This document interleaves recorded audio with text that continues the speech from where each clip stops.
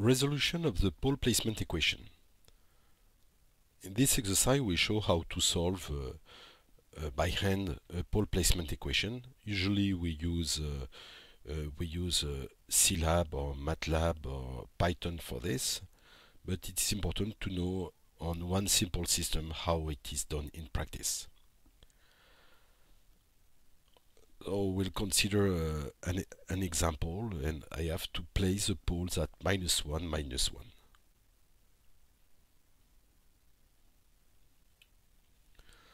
This is the exercise. And I have uh, here my system. Here my system. I find a controller u equal w minus kx.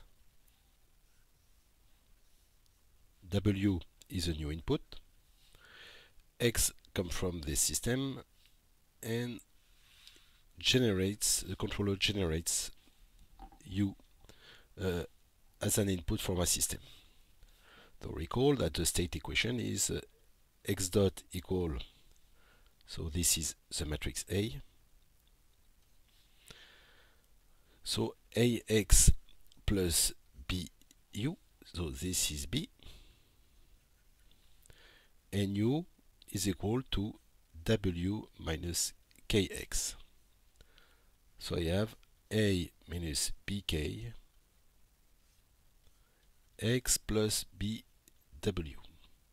So recall that for the stability I need this to have uh, the poles that I want. Or this matrix should have the eigenvalues corresponding to minus 1 and minus 1 here. So how do I do this? With Python or MATLAB or Scilab I use either place, so Python and MATLAB, or ppol, and we don't usually compute by hand, only here. So for this I will uh, compute the for minus the since the eigenvalues I want are minus 1, minus 1, then for the controllability of the system, I want as a polynomial s plus 1 multiplied by s plus 1, so the roots are minus 1 twice, which is equal to s2 plus 2s plus 1. So now I have to compute the polynomial characteristic polynomial for A. So for this, the uh, P of S for A uh, for A minus BK is equal to the determinant of SI minus A minus BK. So which is equal to the determinant of uh, it will be S identity minus so A minus BK will be here 1 2 3 4 for A. And for BK it will be B so it's 1 2 so 1 2 so plus because minus minus multiply by the matrix K, which is equal to K1, K2.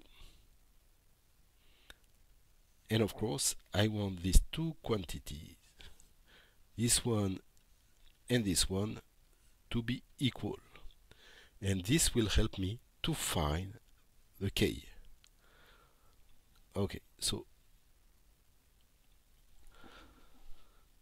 So I compute the determinant. The determinant from this it will be it will be equal to determinant of s plus k1 minus 1 k2 minus 2 2 k1 minus 3 s plus 2 k2 minus 4 and this should be equal to s2 plus 2s plus 1. So I develop and alternatively I get S2 plus S multiplied by K1 plus 2K2 minus 5 plus K2 minus 2 should be equal to S2 plus 2S plus 1. So I have two polynomials of the same degrees 2 on the left and on the right.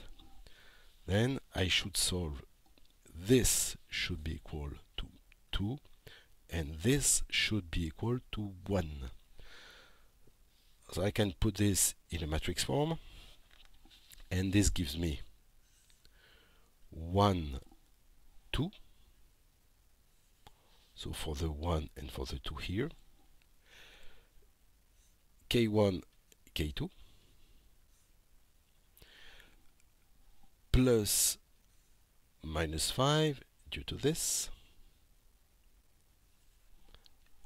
is equal to 2 due to this.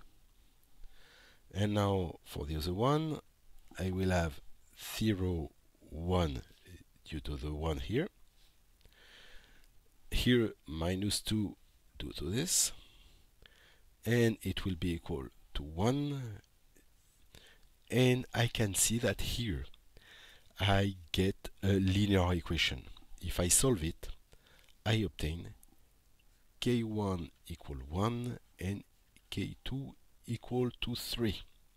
So in practice, when I have only one input, I always obtain linear equation. But when I have several inputs, then the, I will have more more uh, uh, unknowns, so the ki uh, than equation, so I have some degrees of freedom. If I fix the degrees of freedom accordingly, I will get a linear system. In the general case, since we have degrees of freedom, we try to find uh, other criterions such as optimal criterion to minimize the energy and so on. But to find the solution of the pole placement equation can be considered as a linear problem